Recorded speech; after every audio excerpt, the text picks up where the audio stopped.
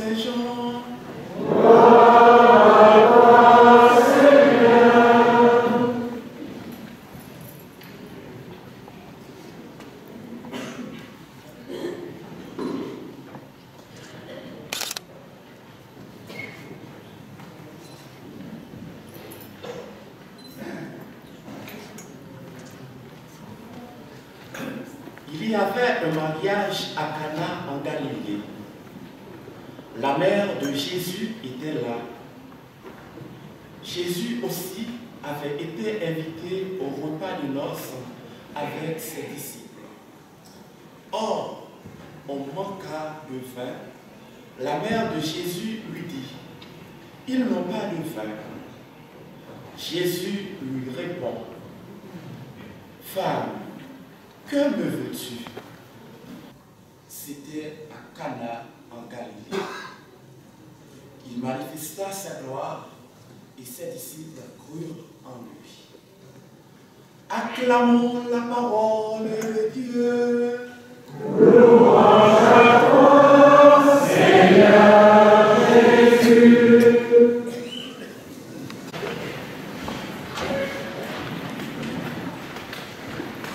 Mes amis, nous avons entendu le prophète Isaïe, qui est une parole très profonde pour aujourd'hui.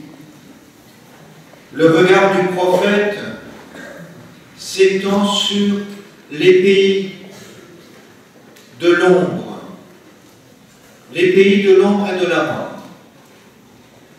Nous pourrions dire que le regard du prophète s'étend sur ces pays du désespoir.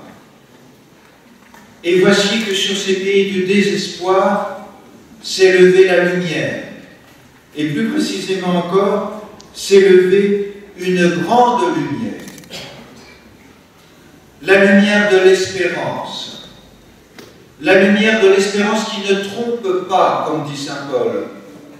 La lumière de l'espérance qui anime une vie la lumière de l'espérance qui fait que l'on passe du désespoir qui accable, du désespoir parce qu'il n'y a pas de sens pour la vie, du désespoir qui nous rend proche de la mort, et nous passons à l'espérance qui nous met debout. Et cette espérance qui nous donne la joie et la paix. Nous prions en rendant grâce à Dieu pour celles et ceux qui ont été des témoins de cette espérance, qui ont semé cette espérance et qui sont partis au loin pour que cette espérance brille dans les cœurs. C'est l'espérance de Jésus ressuscité. Rien n'est plus grand que le ressuscité. Dieu a tant aimé le monde, Dieu a tant aimé le peuple d'Haïti qu'il lui a donné son Fils. Et ce Fils, Jésus, qui est mort et qui est ressuscité d'entre les morts, ce Fils Jésus qui est mort sur la croix, et comme dit Saint Paul, il m'a aimé et s'est livré sur moi, comme si chaque habitant en Haïti pouvait découvrir et dire cette phrase de Saint Paul, il m'a aimé et il s'est livré pour moi. Et quand cette phrase de Saint Paul devient ma phrase, devient ma phrase la plus personnelle, voici que l'espérance naît. Voici que l'espérance produit son fruit dans les cœurs. Combien d'Haïtiens qui étaient dans le sombre pays de la mort ont vu luire cette lumière de Jésus, de Jésus ressuscité. J'oserais dire ici, de Jésus qui n'a pas simplement donné sa vie pour les Bretons, les Bretons qui ont reçu cette foi, qui ont reçu Jésus, qui ont compris que Jésus était mort pour eux, les Bretons qui ont pu dire dans leur cœur et dans leur famille, il m'a aimé et il s'est livré pour moi. Combien de croix ont été faites par le granit de Bretagne? Combien de croix ont éclairé la vie des familles en Bretagne? Je me souviens quand je suis arrivé ici, rencontrant une religieuse handicapée par l'âge et la maladie, 94 ans, qui dormait sur son fauteuil. Et quand je me suis approché d'elle, je me suis penché pour mettre ma tête sous la sienne. Et je lui ai dit bonjour. Et elle m'a dit, qui est là? Je lui ai dit, c'est l'archevêque de Rennes. Et elle m'a répondu, oh, ne perdez pas votre temps avec moi. Et je lui ai dit, non ma soeur, je suis très heureux d'être avec vous. Et la sœur commence à se réveiller et à s'animer, et elle me raconte. Elle me raconte sa vocation. Elle me raconte son enfance, et je l'entends me dire, j'entendais mon père dans la cuisine. Il tapait sur la table de la cuisine et il disait, c'est l'heure les enfants, c'est l'heure les enfants. Il faut adorer le Créateur. Et je lui demandais, et alors? Et je voyais mon père se mettre à genoux, les coudes sur la table de la cuisine, et la tête dans les mains, et il adorait. Et alors, qu'est-ce que vous faisiez, vous? Ben nous, les enfants, on se mettait à genoux dans la cuisine. Et alors, eh bien, on attendait. Et alors, et c'était long. que c'est beau, ce père de famille, habité par l'espérance, habité par l'amour de son Créateur pour lui, pour sa famille, pour ses enfants, et qui se mettait à genoux en plein milieu de la journée pour adorer cet amour infini de Dieu révélé en Jésus. Que c'est beau cette foi qui a habité la Bretagne. Mais ce n'est pas une foi qui reste dans les cœurs. La foi qui vient dans les cœurs est toujours un amour qui nous pousse pour aller porter cette lumière. La foi chrétienne, elle est toujours missionnaire. Il n'y a pas de foi chrétienne qui soit égoïste. Il n'y a pas de foi chrétienne qui soit pour soi. Celui qui dit Il m'a aimé et s'est livré pour moi est quelqu'un qui est pris dans les sentiments du Christ et qui sort avec le Christ. Le chrétien qui est habité par cette lumière de l'espérance, c'est-à-dire cette lumière de l'amour de Dieu qui m'a aimé, et avec cet amour tout prend sens, tout change, toute l'existence acquiert une, une signification extraordinaire. Je suis sur terre par amour. La création m'est donnée par amour. Je vis par amour. Et par cet amour, Dieu me donne une mission sur terre. Je ne suis pas là pour rien. Je ne suis pas là par hasard. Comme l'a si bien dit le pape Benoît XVI, dans sa providence, Dieu nous place dans ce monde pour lui dire l'amour de Dieu. Et nous connaissons le pape François quand il va nous parler du disciple de Jésus, ce disciple qui a reçu la foi, alors ce disciple, il est comme en un seul mot dans la phrase du pape François, c'est un disciple missionnaire. Non pas un disciple qui a une vocation particulière, non pas un disciple qui serait un peu exceptionnel et qui partirait au loin, et nous, nous resterions ici. Il n'y a pas ceux qui sont missionnaires, qui auraient des talents et qui auraient des aptitudes pour partir au loin, car il faut de la santé pour partir au loin. Il faut savoir s'adapter à une culture pour partir au loin. Et ceux qui partiraient au loin auraient un petit regard méprisant pour ceux qui resteraient ici. Non. Il est vrai que dans l'histoire que nous célébrons dans ces 50 ans de mission, il est vrai qu'il y a un moment où nous avons réfléchi la mission comme étant une terre catholique comme la Bretagne qui envoyait des missionnaires au loin et 700 missionnaires sont partis en Haïti. C'était ainsi. Ce n'est plus ainsi. C'était ainsi. Aujourd'hui, avec le Concile Vatican II, nous comprenons que le caractère fondamental de l'Église, c'est d'être missionnaire. Il n'y a pas les missionnaires qui vont au loin et les autres. Il y a la mission ici pour annoncer l'Évangile.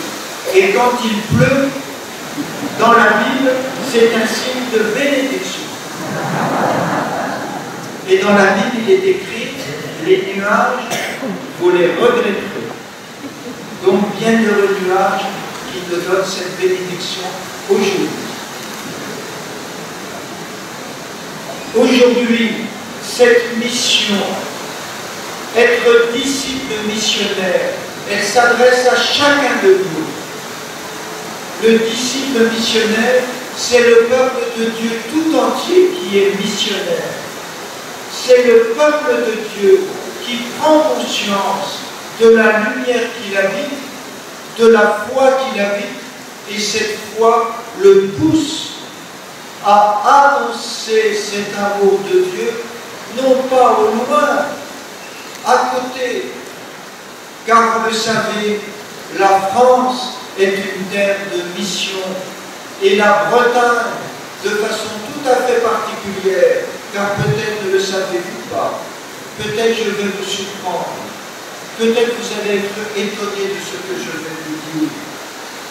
Mais la Bretagne est la région de France où il y a le plus grand taux de suicide et singulièrement de jeunes. Oui, il faut annoncer l'évangile. Il faut annoncer l'espérance. Il faut annoncer que la vie a un sens, que la vie est belle. Et parfois la beauté de cette vie est portée par des cultures traditionnelles qui savent dire la beauté de la vie, qui savent dire que la vie se respecte jusqu'à la dernière heure. Aujourd'hui, chez nous, dans notre culture française, peut-être qu'on ne sait même plus que la vie est belle. On ne sait même plus qu'il faut respecter la vie jusqu'à sa dernière heure. On ne sait même plus que le commandement de Dieu, tu ne tueras pas, est un commandement de lumière, est un commandement d'amour, est un commandement de beauté face à la vie humaine. Et ainsi, aujourd'hui, nous sommes ici pour rendre grâce à Dieu pour ces 150 ans de mission. Et nous sommes ici pour recueillir la pensée de l'Église avec le Concile Vatican II, avec le pape François qui nous invite à être ce peuple de Dieu missionnaire. Non pas les uns qui seraient missionnaires et les autres. Et dans la chapelle où ont été formés les pères d'Haïti, ces missionnaires, j'ai remarqué qu'il y avait la statue de Sainte Thérèse de Lisieux. Nous savons qu'elle est patronne des missions.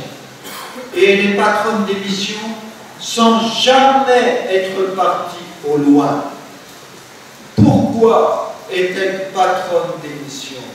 Parce qu'elle a compris, comme elle l'a dit elle-même en le répétant, j'ai compris, j'ai compris. Et qu'est-ce qu'elle a compris?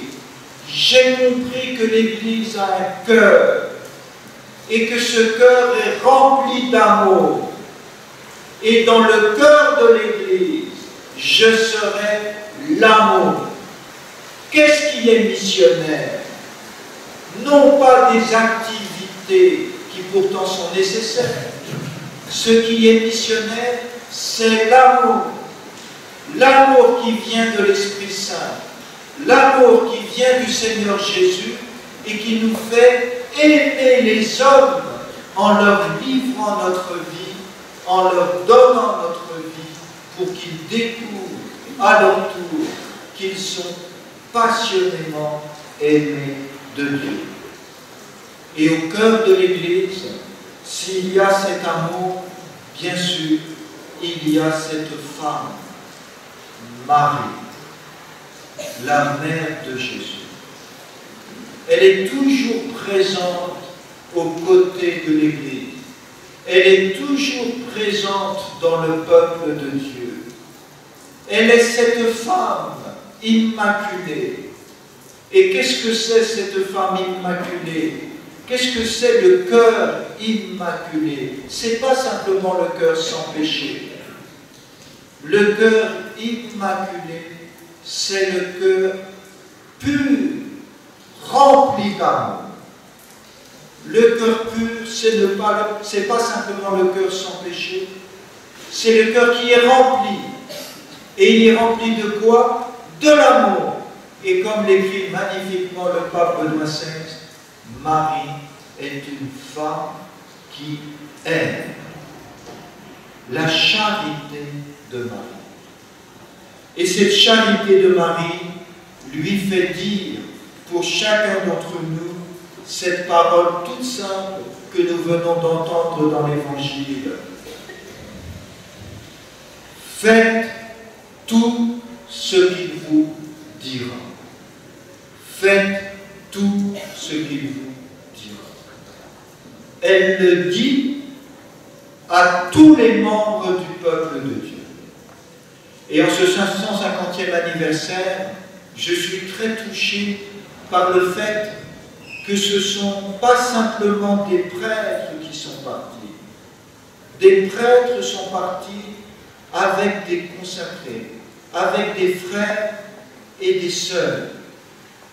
Image du peuple de Dieu, des frères, des sœurs et des prêtres par ensemble, ensemble, non pas pour leur congrégation, mais pour fonder, créer, soutenir l'Église qui n'existe que dans les diocèses, qui n'existe que par et dans les diocèses, comme l'a magnifiquement souligné le Conseil Vatican II. Mes amis, en ce 150e anniversaire, confions-nous à la prière de la Vierge Marie pour savoir rendre grâce à Dieu pour tous ceux et toutes celles qui ont donné leur vie pour que la lumière vienne en Haïti, pour que la lumière brille sur tout le peuple d'Haïti, pour que la lumière soit aussi donnée